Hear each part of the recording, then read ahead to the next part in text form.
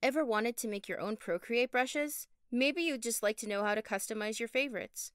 Well, in this tutorial, we'll take a look at the many options Procreate has for creating and customizing brushes. There's a lot to see, so let's dig right in. First, make sure to note your brush size. It's located right here. I can move this slider to make my brush bigger or smaller, and we can adjust those maximums in our brush settings. We'll take a look at that a little later. The bottom slider here is our brush opacity. Again, move this slider to adjust it. We can change the color up here in the upper right hand corner. It's as easy as touching to select a color. Now let's take a look at some of the default brushes. Open them up by clicking on the brush icon, right here. These categories over on the left are called brush sets. You can rearrange brushes within a set by tapping and dragging it. The same goes for brushes themselves. I can tap and drag wherever I prefer in this list. I can duplicate a brush by swiping left and then selecting Duplicate. This is handy if you want to create a variant of one of your favorite brushes. You can also create custom brush sets. Swipe downwards in the brush set area to reveal this blue plus sign. Tap it to create one. We can also delete custom sets. Just tap to reveal the options here, like deleting and renaming. Now let's dig into customizing our brushes. Let's begin by tapping on a brush we'd like to customize. Any will do. This opens up our brush settings, and there's a lot to see here. That said, if you ever customize one of the defaults and you want to reset the brush, just come down here to About this brush. Then tap on Reset All Settings. It's as easy as that. I'd also like to draw your attention up here to the top of the brush settings where we have our drawing pad. This is a great place to test out brushes that you're customizing. You can also adjust the drawing pad here in the drawing pad settings. We can clear the drawing pad, reset all settings, change the preview size, and the color of the test brush too. Now let's check out the stroke path settings. Spacing refers to the space between each shape that makes up the brush stroke. Think of it like this. Your brush is a repeated series of shapes, just typically close together. Check it out. When I increase the spacing, we can see the shape more visibly. Streamline is your line stabilization, so if I turn it up, my line will be extra smoothed out for me. Jitter is kind of a different sort of spacing in this scenario. Notice if I adjust the jitter, there's a randomization to where the shapes that make up the stroke appear. Fall off affects the length of your stroke. Next are our taper settings. We have pressure taper and touch taper. The pressure taper settings apply when using an Apple Pencil, where the touch taper settings apply to drawing with your finger. Check it out. As an example, I'll adjust the start of my touch taper and adjust the size. Now I'll just draw a line with my finger instead of a pencil. Cool, right? Note that this isn't real touch sensitivity with my hand, but rather I'm assigning attributes to be applied when using touch. The shape settings concern the shape that makes up your brush. We can change that shape here in the shape source, but we'll do that a little later in the tutorial. Scatter is a lot like how it sounds. We can add some variation here or keep the shape uniformed. Rotation rotates the direction of the brush shape. Count will adjust the number of shapes whereas count jitter adds some variation to that number. Then we have the grain, which is sort of like another major building block of your brush. We can change the grain source right here. Think of it like a texture. We have moving and texturized tabs here to choose from. Think of it like choosing between if you'd like the texture to be kind of smeared and integrated into the brush for moving, or a more repeated pattern for texturized. Movement here determines how the grain behaves. Check it out. At full or rolling, there's a lot of continued texture here, but when I turn it down, it's more smeared. Scale and zoom will impact the size of your grain within the brushstroke. Check it out. I typically leave my rotation here at static, but you could rotate the grain here if you'd like to. The depth settings here dictate how visible the grain is. I'll turn my grain off, and then I'll set it back to max. The offset jitter here can help keep things looking natural and organic unless you'd prefer a more consistent pattern. Your blend mode, brightness, and contrast should all be familiar if you've ever used layer blending modes. It's how our brush grain blends, essentially. Check out some of the options. Next, we have our rendering options.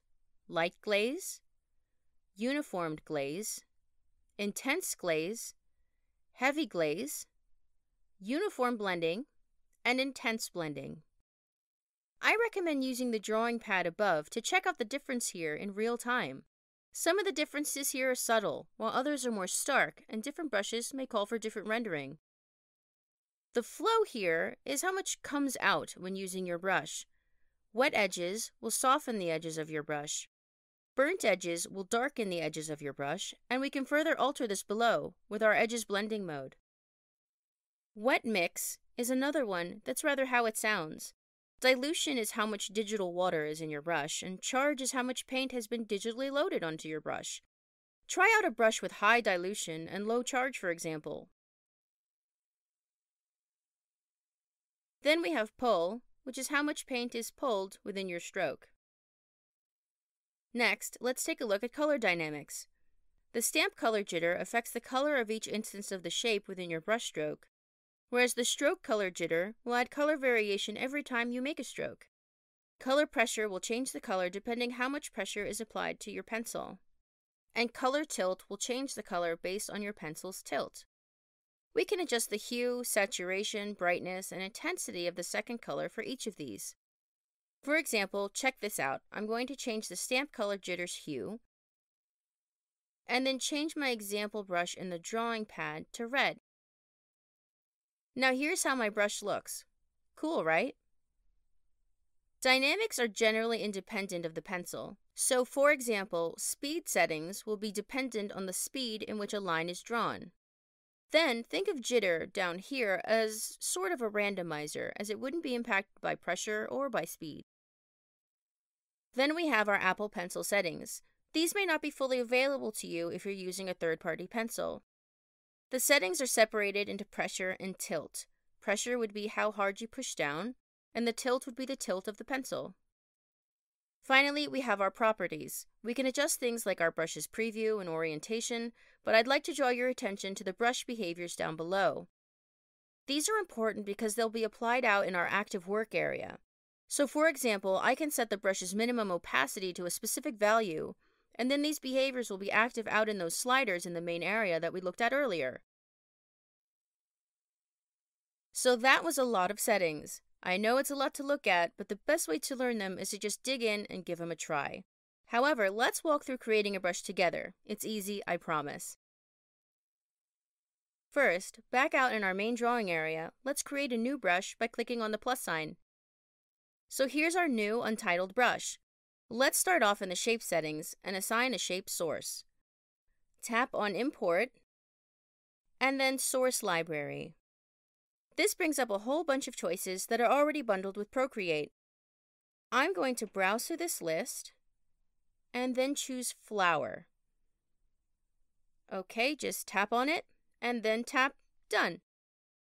Now let's check out the stroke path. I'm going to add some spacing here. Notice how it really changes the appearance of the brush. Remember, you can test out your work in the drawing pad while you're editing these values. So let's go to shape again.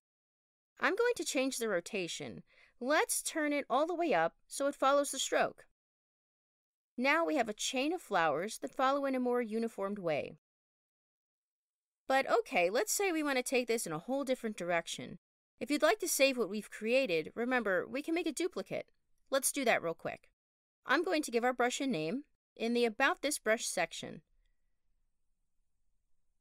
You can also list your name and a signature with your brush.